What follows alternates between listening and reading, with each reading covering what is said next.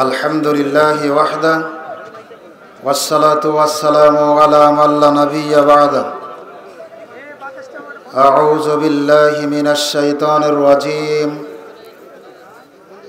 شهر رمضان الذي أنزل فيه القرآن هدى للناس وبينة من الهدى والفرقان. فمن شهد منكم الشهر فليصمه. إلى آخر الآية عن أبي هريرة رضي الله تعالى عنه قال قال رسول الله صلى الله عليه وسلم من صام رمضان إيمانا واحتسابا غفر له ما تقدم من ذنبه إلى آخر الحديث رواه البخاري ومسلم আহলে হাদিস আন্দোলন বাংলাদেশ রাজশাহী পূর্ব সাংগঠনিক জেলা কর্তৃক আয়োজিত আজকের এই ষষ্ঠ বার্ষিক ইসলামী সম্মেলনের মহাশ্বাস মহতারাম সম্মানিত সভাপতি, প্রধান অতিথি, আহলাদিস আন্দোলন বাংলাদেশ এর মহতারাম আমির, প্রফেসর ডক্টর মোহাম্মদ আসাদুল্লাহ আলগা আলিম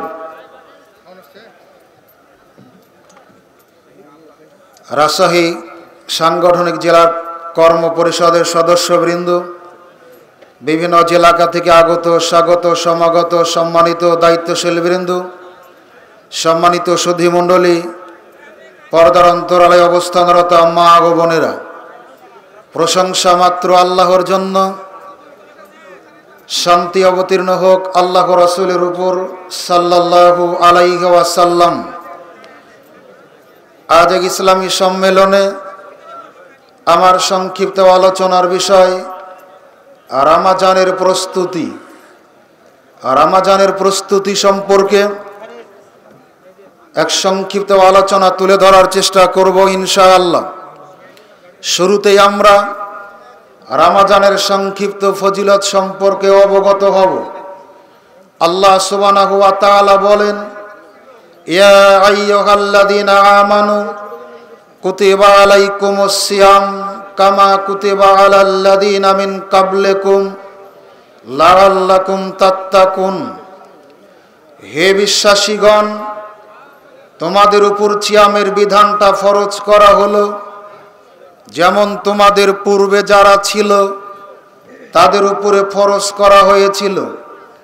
যাতে তোমরা পরহেজগারিতা অবলম্বন করতে পারো। এ ব্যাপারে মহান আল্লাহ বলেন, শাহরু রামাজান আল্লাযী উনজিলা ফীহিল কোরআন হুদাল লিন-নাস ওয়া বায়্যিনাতিম মিনাল হুদা ওয়াল ফুরকান। রামাজান মাস হলো সেই মাস, যেই মাসে কোরআন অবতীর্ণ করা হয়েছে। যেই কোরআন হলো সত্য মিথ্যার মানদণ্ড নির্ণয়কারী এবং মানুষের জন্য হেদায়েত। আল্লাহর নবী সাল্লাল্লাহু আলাইহি বলেন, আসসালাওয়াতুল খামস ওয়াল জুমাআতু ইলাল জুমআ ওয়ার রমাজান ইলা রমাজান মুকাফফিরাতুন লিমা বাইনাহুম ইজাস্তুনিবাতিল কাবায়ের। কেউ যদি পাঁচ ওয়াক্ত সালাত আদায় করে, জুমার সালাত আদায় করে, এক রামাজান থেকে আর রামাজানের সিয়াম পালন করে। রাসুল সাল্লাহু আলাইহি ওয়াসাল্লাম বলেছেন, তাহলে এই পাঁচ ওয়াক্ত সালাতের মধ্যবর্তী সময় এক জমা থেকে আর এক জমার মাঝখানের সময়ে, এক রামাজান থেকে আর এক রামাজানের মাঝখানের সময়ের যাবতীয় কাপ, পাপের কাফফারা হয়ে যায় এই সালাত এবং সিয়াম। আবু হরাইরা রাজি আল্লাহ তালানহু বলেন, রাসুল সাল্লাল্লাহু আলাইহি ওয়াসাল্লাম বলেছেন, মান সামারামা জানা ঈমানা ওয়া ইহতিসাবান গুফিরা লাহু মা তাকাদ্দামা মিন জামবিহি। যে বা যাহারা ঈমানের সাথে নেকির প্রত্যাশায় রামাজানের সিয়াম পালন করবে, আল্লাহ সুবহানাহু ওয়া তাআলা ওই সিয়াম পালনকারীর বিগত জীবনের যাবতীয় পাপরাশিকে ক্ষমা করে দিবেন। সিয়ামের ফজিলত বর্ণনায় সংক্ষিপ্ত বলা যায়, সিয়াম এমন একটা ইবাদাত যা সায়েমের অতীত জীবনের যাবতীয় পাপকে মুছে ফেলে। সিয়াম এমন একটা ইবাদত যা সায়েমের জন্য জান্নাত সাব্যস্ত করে। সিয়াম এমন একটা ইবাদত যা সায়েমকে জাহান নামের আগুন থেকে বাঁচায়। সিয়াম এমন একটা ইবাদত যা মানুষকে জাহান নামের লেলিহান আগুন থেকে বাঁচার জন্য সহযোগিতা করে এখন আমরা সংক্ষিপ্তভাবে দেখব এই শ্যামকে রামাজানকে আমরা কীভাবে মূল্যায়ন করব। আমরা শুরুতেই জানতে চাচ্ছিলাম শ্যামটা কখন শুরু করব আর কখন আমরা ভঙ্গ করব। এ ব্যাপার আবদুল্লাহ ইবনমার রাজি আল্লাহ তালানহু বলেন আন্না রসুল আল্লাহ সাল্লাহু আলাইহি ওয়াসাল্লাম জাকারা রমাজানা, আল্লাহর নবী একদা আমাদের সামনে রামাজান মাস নিয়ে আলোচনা করছিলেন। করতে গিয়ে তিনি বললেন, লা তাসুমু হাত্তা তরাল হেলাল, তোমরা নতুন চাঁদ না দেখা পর্যন্ত ছিয়াম রেখো না। ওয়ালা তুফতেরু হাত্তা তারাহু আর নতুন চাঁদ না দেখা পর্যন্ত ছিয়াম ছেড়ো না। আমাদের রমজান শুরুর একটা পদ্ধতি, নতুন চাঁদ দেখা এবং ছাড়ার পদ্ধতি, নতুন চাঁদ দেখা। চাঁদ দেখা ছাড়া ছিয়াম শুরু করাও যাবে না, শেষ করাও যাবে না। এরপর আল্লাহর নবী বলেন, যদি ফাইন গুম্মা আলাইকুম ফাকদুরুলাহু যদি আসমান মেঘাচ্ছন্ন থাকে চাঁদকে তোমরা দেখতে না পাও, তাহলে সাবান মাসকে তিরিশ দিন পূর্ণ করে নাও। এরপরে তোমরা সিয়াম রাখা শুরু করে দাও। আমাদের ভিতর একটা ধারণা, চাঁদ উঠতে পারে নাও উঠতে পারে। আজকে যদি চাঁদ উঠে, তাহলে রমজান মাস হবে তিরিশ দিনে। আর যদি না উঠে, তাহলে রমজান হবে উনতিরিশ দিনে। উনতিরিশটা যদি সিয়াম হয়, নেকি পূর্ণ হবে না। এই ধারণার ভিত্তিতে আমরা এই দিনে সিয়াম পালন করি। এই দিন মানে যেই দিনে চাঁদ উঠতে পারে, নাও পারে। এই দিনকে বলা হয় সন্দেহের দিন ইয়াম শাক। রাসুল সাল্লাহু আলাইসাল্লাম বলেন, তোমরা সন্দেহের দিন সিয়াম পালন করো না। যদি আমরা সিয়াম পালন করি তাহলে ক্ষতি কি হবে? এ ব্যাপারে আম্মার ইবনে ইয়াসির রাজিয়াল্লাহু বলেন রাসূল সাল্লাল্লাহু আলাইহি ওয়াসাল্লাম বলেছেন যে ব্যক্তি সন্দেহের দিন সিয়াম পালন করল, ফাকাদ আসা আবাল কাসেম সে যেন আবুল কাসেম মোহাম্মদ সাল্লাল্লাহু আলাইহি ওয়াসাল্লামের নাফরমানি করল। সন্দেহের দিন সিয়াম পালন করা মানে রসুলের বিরোধিতা করা। সন্দেহের দিন সিয়াম পালন করা মানে রসুলের না ফরমানি করা। সন্দেহের দিন সিয়াম পালন করা মানে আল্লাহ রসুলের অবাধ্যতা করা। আর তার অবাধ্যতায় পৃথিবীর কোনো মানুষের ইবাদাত গ্রহণীয় হবে না। আপনাকে বলছিলাম, এবার আপনি চাঁদ দেখলেন, আমরা দেখলাম এখানেও বহু কুসংস্কার প্রচলিত আছে। আমরা নতুন চাঁদ দেখলে অনেকেই সালাম দিই অনেকে অনেকভাবে তাকে সম্মান করার চেষ্টা করি। জিনা, আপনাকে বলছিলাম, তালহা ইবনে উবাইদুল্লাহ রাজি আল্লাহ আনহু বলেন, রাসুল সাল্লাল্লাহু আলাইহি ওয়াসাল্লাম কানাইদার আল হেলাল, যখন তিনি নতুন চাঁদ দেখতেন, শুধু রামাজানের নয় যে কোনো মাসের নতুন চাঁদ দেখতেন, তখন চাঁদ দেখে তিনি এই দোয়াটা পড়তেন, আল্লাহুম্মা আহিল্লাহু আলাইনা বিল ইয়ামনি ওয়াল ঈমানে ওয়াসসালামাতে ওয়াল ইসলামে, রাব্বি ওয়া রাব্বুকাল্লাহ, আল্লাহর নতুন চাঁদ দেখার পরে সালাম দিতেন না, এই দোয়াটা পড়তেন তিনি। এজন্য আমরা শুরুতেই যে পাপ করি, শুরুতেই যে বেদাত করি, সেটা হলো চাঁদকে সালাম দেওয়ার বেদাত।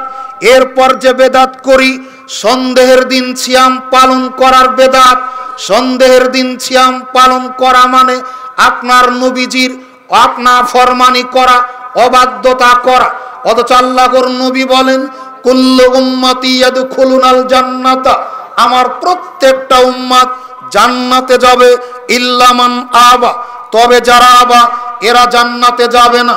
জিজ্ঞাসা করা হলো, আল্লাহর নবী আবা কারা? তখন তিনি বলছেন, মান আতাহানি যারা আমার আনুগত্য করবে, দাখালাল জান্না, তারা জান্নাতে প্রবেশ করবে। ওয়ামান আসানি, ফাকাদ আবা, আর যারা আমার অবাধ্যতা করবে, তারা হলো অসম্মত, তারা জান্নাতে যাবে না। এজন্য প্রত্যেকটা বিষয়ে রসুল সাল্লাল্লাহু আলাই ওয়াসাল্লামের অনুসরণ করে, তার রীতিনীতি অনুসরণ করে আমাদের অগ্রসর হতে হবে।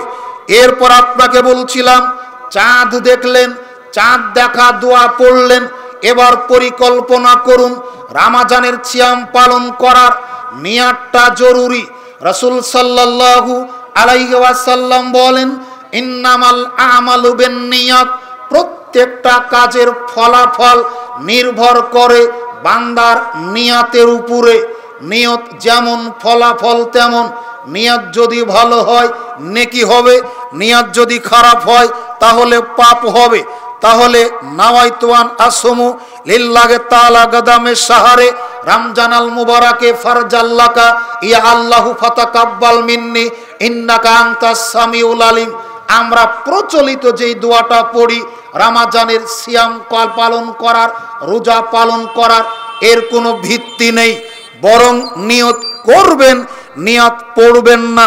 নিয়ত করাটা জরুরি, নিয়ত পড়া জরুরি নয়। নিয়ত করাটা জরুরি, নিয়ত পড়া জরুরি নয়। রামাজানের ছিয়ামের নিয়াত করুন, নিয়াত করতে হবে, নিয়ত করার কথা নবী বলেছেন, অতএব নিয়াত করতে হবে, কিন্তু নিয়াত পড়তে হবে না। নিয়াত করা এক জিনিস, আর নিয়াত পড়ার এক জিনিস। নিয়াত করুন রামাজানের ছিয়ামের, নিয়াত পড়বেন না। নিয়াত করলেন, পরিকল্পনা করলেন, আপনার সংকল্প হয়ে গেল, রামাজানের ছিয়াম পালন করার এরপর আমাদের ভিতর একটা ধূম্রজাল সাহারি খাওয়ার ব্যাপারে, রসুল সাল্লাল্লাহু আলাইহি ওয়াসাল্লামের সাহাবী আনাস ইবনে মালেক রাদিয়াল্লাহু তাআলা আনহু বলেন আন্নান নাবিয়্যা সাল্লাল্লাহু আলাইহি ওয়াসাল্লামা, রাসূল সাল্লাল্লাহু আলাইহি ওয়াসাল্লাম বলেছেন তাসাহারু তোমরা সাহারি খাও। ফাইন্না ফিস শুহুরে বারাকাতান, কেননা সাহারিতে বরকত রয়েছে। রাসূল সাল্লাল্লাহু আলাইহি বলেন, তোমরা সাহারি খাও, সাহারিতে বরকত রয়েছে। সাহারি খাওয়াতে বরকত আছে, সাহারি আমাদেরকে খেতে হবে। এটা একটা জরুরি বিষয়, তবে আপনি আমি বাধ্য নই। তবে সাহারি খাওয়াতে বরকত রয়েছে কথা আল্লাহর নবী বলেছেন। আপনাকে বলছিলাম, এই সাহারি খাবেন কখন আর খেতে হবে কখন, আমরা খাই কখন? এ ব্যাপার আপনাকে বলছিলাম, জায়েদ ইবনে সাবেদ রাজিয়াল্লাহু তাআলাহু বলেন, রাসূল সাল্লাল্লাহু আলাইহি ওয়াসাল্লামের সাথে তার সাহারনা আমরা সাহারি গ্রহণ করলাম। সুম্মা কামা সাহারি খাওয়ার পরে তিনি সালাতে দাঁড়িয়ে যেতেন, আমরাও দাঁড়িয়ে যেতাম।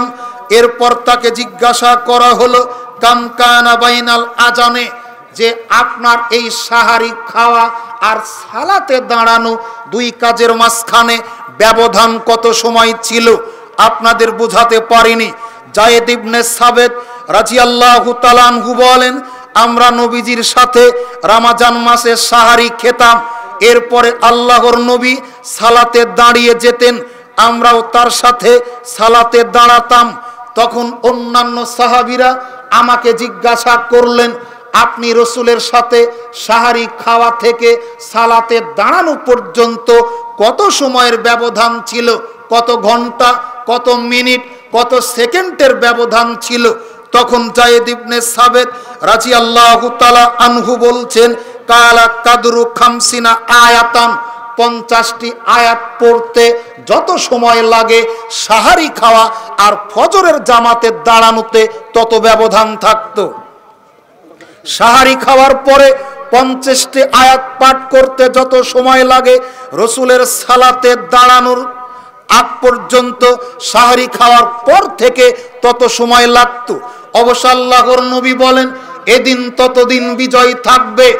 যতদিন ইমানদারেরা, যতদিন আমার উম্মতেরা, যতদিন মুসলিম মিল্লাতেরা সাহারি খাবে, বিলম্ব করে আর ইফতার করবে তাড়াতাড়ি করে। কতদিন পর্যন্ত মুসলিমেরা কল্যাণের উপরে থাকবে, মঙ্গলের উপরে থাকবে। যতদিন তারা সাহারি খাবে, দেরি করে আর ইফতার করবে তাড়াতাড়ি।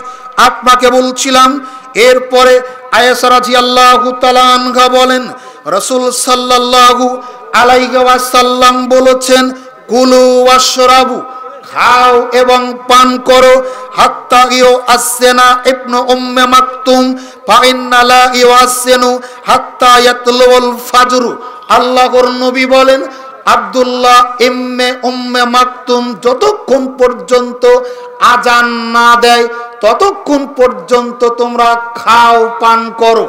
বেলাল আজান যখন দিবে, তখন তোমরা খাও। আর আব্দুল্লাহ, ইবনে, উম্মে মাকতুম যখন আজান দেয়, তখন তোমরা খাওয়া দাওয়া বন্ধ করো। কারণ আব্দুল্লাহ, ইবনে, উম্মে মাকতুম ছিলেন অন্ধ সাহাবি। সকাল, সন্ধ্যা, রাত, দুপুর বুঝতে পারতো না।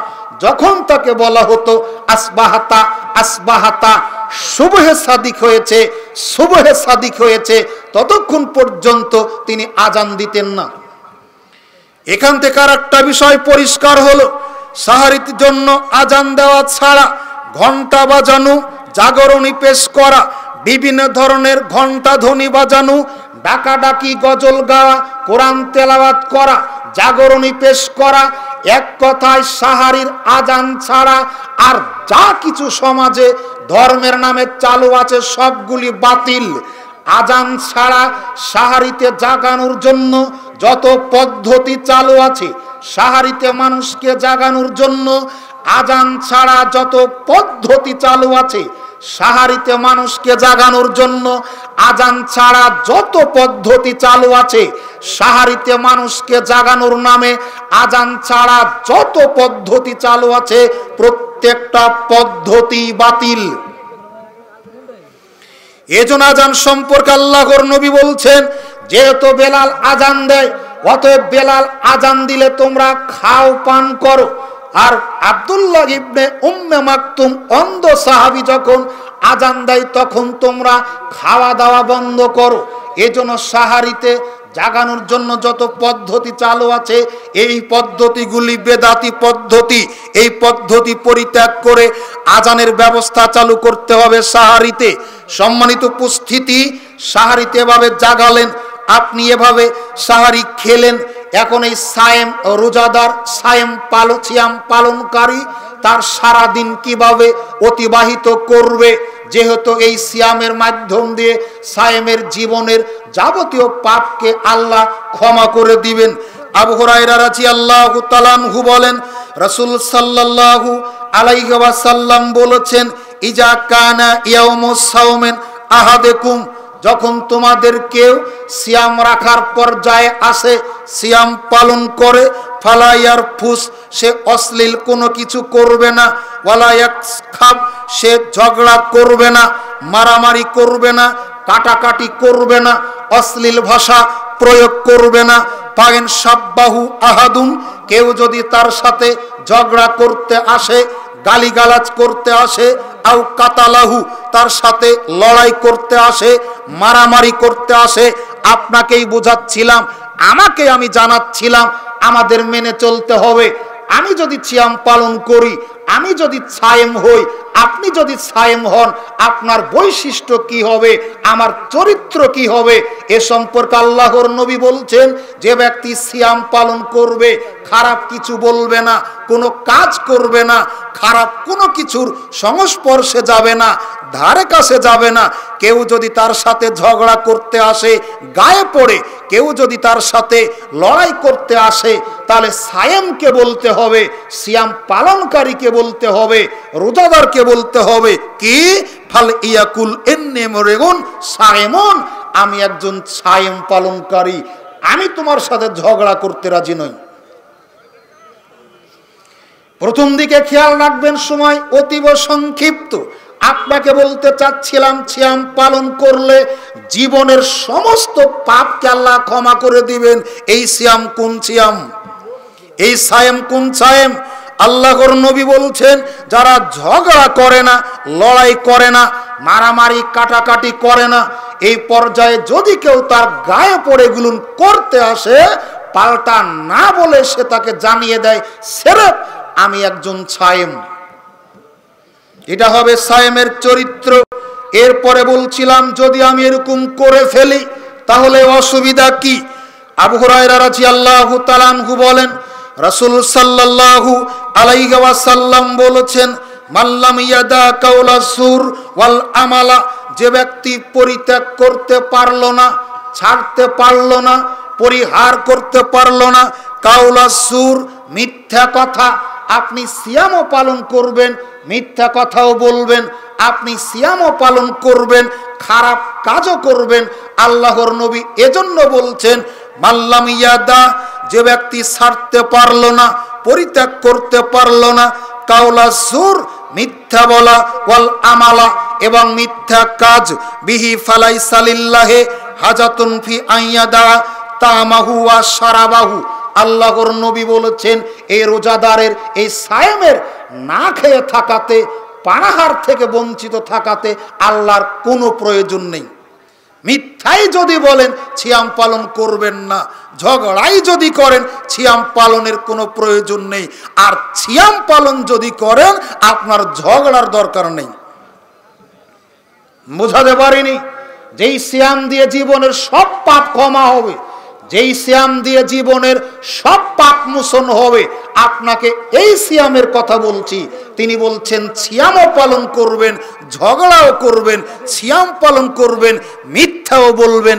রসুল সাল্লাহু আলাইহাসাল্লাম বলছেন, আপনার এই খাওয়া পান করা, পরিত্যাগ করাতে আল্লাহর কোনোই প্রয়োজন নেই।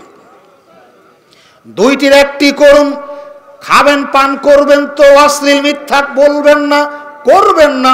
আর মিথ্যা করেন বলেন যদি আপনি ছিয়াম পালন করবেন না। এরপর আপনাকে বলছিলাম, ইফতার করবেন কখন? আমাদের দেশে অসংখ্য ইসলামী সংগঠন কাজ করে। ইতিমধ্যে আপনারা বহু ধরনের সমালোচনা করেছেন, করবেন, এটাই ঠিক। একটা দেশের সূর্য, যার যেমন ক্ষমতা, তার ক্ষমতা অনুযায়ী উঠায় ডোবায়। বাংলাদেশের সূর্য আমরা যার হাতে যেমন ক্ষমতা, সে তখন উঠায় ডুবায়। আল্লাহর ডুবানোর যে একটা সময় আছে আল্লাহর উঠানোর যে একটা সময় আছে, এই ক্ষমতার মালিক যে আল্লাহ, এটা আমরা রমজান মাসে অনেকেই ভুলে যাই। কি কথা বুঝতে পারেননি? একটা দেশের সূর্য ডুবে যে কয়বার, আল্লাহ ভালো জানেন। ইসলাম নিয়ে কাজ করি, ধর্ম নিয়ে কাজ করি, ধর্মভিত্তিক কাজ করি, ইসলামী সংগঠনের আমি একজন আমির, আমি একজন রুকন, আমি একজন দায়িত্বশীল আপনার সূর্য আপনার কাছে এক সময় ডুবে, আমার সূর্য আমার কাছে এক সময় ডুবে, ভোরের ডাকের সূর্য এক সময় ডুকে, ডুবে, প্রথম আলোর সূর্য এক সময় আপনার ডুবে, আপনার সমকালের সূর্য এক সময় ঢুকে, আপনার দিনকালের সূর্য এক সময় ডুবে, আপনার সংবাদের সূর্য এক সময় ডুবে, এদেশের কোনো পত্রিকার সূর্য একসাথে ডুবে না। না হলে আপনি দেখেন, রমজানের বহু দেরি আছে আপনাকে অনুরোধ করার জন্য বিষয়গুলি তুলে ধরছি। প্রত্যেকটা পত্রিকার শুরুতেই আপনি দেখবেন কোন পত্রিকার প্রথমেই কোন পত্রিকার শেষের দিকে দেওয়া থাকে, প্রত্যেক দিন পাঁচ ওয়াক্ত সালাতের সময়সূচি, ফজর, জহুর, আছর, মাগরিব এসা এখানে ওয়াক্তের সময় দেওয়া থাকে, জামাতের সময়ে দেওয়া থাকে নিচে সুন্দর করে দেওয়া থাকে, সূর্য ওঠার সময় আর অস্ত দেওয়ার সময়। কথা বলেন? রমজানের আগে পরীক্ষা করুন, আপনাকেই বলছিলাম, সূর্য ঢাকার আকাশে উঠবে কখন আর ডুববে কখন? একই পত্রিকার কথা বলছি। আপনি দেখবেন সূর্য ডুবার কথা লেখা আছে, ধরে নিন যে পাঁচটা বিশ মিনিটে। কত মিনিটে বললাম? কথা বলুন, কত মিনিটে বললাম? পত্রিকাতে লেখা আছে, ধরে নেন পাঁচটা বিশ মিনিটে সূর্য কি হবে? কথা বলেন কি হবে? ডুবে যাবে। আপনার কাছে এখন প্রশ্ন, বিগত সময়ে যা শুনেছেন সেই আলোকে বলুন, ধার্মিক যতক্ষণে আপনি সেই আলোকে বলুন, মাগরিবের সময় আর সূর্য ডুবার সময় একই না ভিন্ন? বুঝতে না পারলে বলবেন না। সূর্য ডুববে যায় সময়, মাগরিবের আজান ওই সময়, এর সাথে আপনি একমত কিনা? আপনার সাথে তো আমি একমত, কিন্তু আপনি আমাদের সাথে একমত না। বুঝাতে পারি না আপনাকে। আপনার রেডিওর সাথে আমরা একমত, আপনার টেলিভিশনের সাথে একমত, আপনার পত্রিকার সাথে আমরা একমত, কিন্তু আপনার পত্রিকার সাথে আপনিই দ্বিমত। আপনার রেডিওর সাথে আপনি দ্বিমত, আপনার টেলিভিশনের সাথে আপনি দ্বিমত। না হলে দেখায় প্রত্যেক দিন মাগরিবের একটু আগে অথবা পরে আপনি বিটিভি ওয়ার্ল্ড অন করুন। দেখবেন একটা ভদ্রলোক আবহাওয়ার একটা খবর পরিবেশন করে, তাই কুট শার্ট পরে আপনার চিত্র তুলে ধরে দেশের কোন জেলায় কত ডিগ্রি তাপমাত্রা এটাও দেখায়। কথা বলেন? সবশেষে দেখায়, আগামীকাল সকালে ঢাকার আকাশে সূর্য উঠবে কখন আর ডুববে কখন? কি দেখায় না দেখায় না? একটা দিন আগামীকাল। আজকের আহলাদিস আন্দোলন বাংলাদেশ রাজশাহী পূর্ব সাংগঠনিক জেলার ষষ্ঠ সম্মেলনে আপনার কাছে বিনীত অনুরোধ করে গেলাম, আগামীকাল সাতাশ তারিখ শুক্রবার সন্ধ্যাতে আল্লাহর যে কোনো বান্দা একটু কষ্ট করবেন আমাদের এই তথ্যটা সত্য মিথ্যা কিনা যাচাই করার জন্য। আগামী কালকেই দেখবেন, দেখার পর আপনি প্রমাণ করবেন, সালাতের স্থায়ী ক্যালেন্ডার হাদিস ফাউন্ডেশন থেকে ছাপা যে মসজিদগুলিতে দেওয়া আছে আগামীকাল সাতাশ তারিখ সূর্য ডোবার কথা যতটা যত মিনিটে লেখা আছে, আপনার টেলিভিশনে ততটা তত মিনিটেই বলবে। আপনার পত্রিকা সূর্য ডোবার কথা ততটা তত মিনিটেই বলবে। আপনার রেডিওতে সূর্য ডুবার কথা ততটা তত মিনিটেই বলবে। তাহলে অসুবিধা কেন?